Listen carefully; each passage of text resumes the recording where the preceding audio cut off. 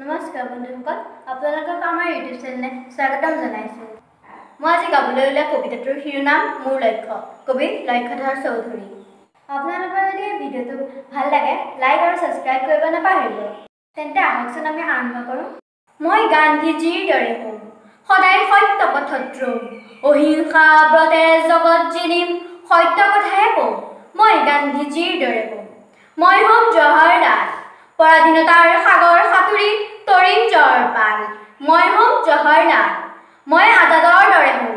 বচনত ধীৰ কামত গম্ভীৰ। দেশৰ কাৰণে সকলো স্বাৰ্থ বল দিম অকাতৰে মই হ'ম আজাদৰ দৰে। মই নেতাজী সুভাষ হ'ম। বিপ্লৱৰ ৰগনি জ্বলাই। জয় হিন্দৰ মেদেৰি কপাই।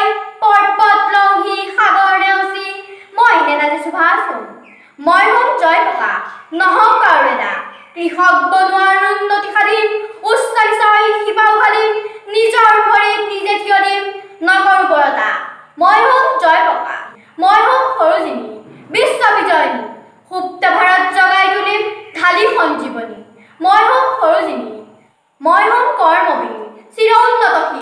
নামতো নবীন কামতো নবীন বীৰ পুত্ৰ জননীৰ মই হ'ম কৰ্মবীৰ।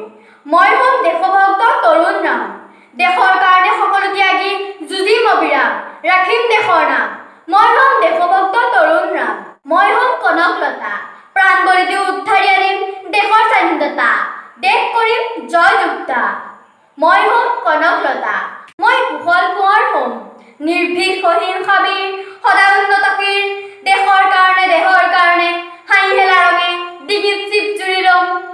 कॉल कौन होम धन्यवाद।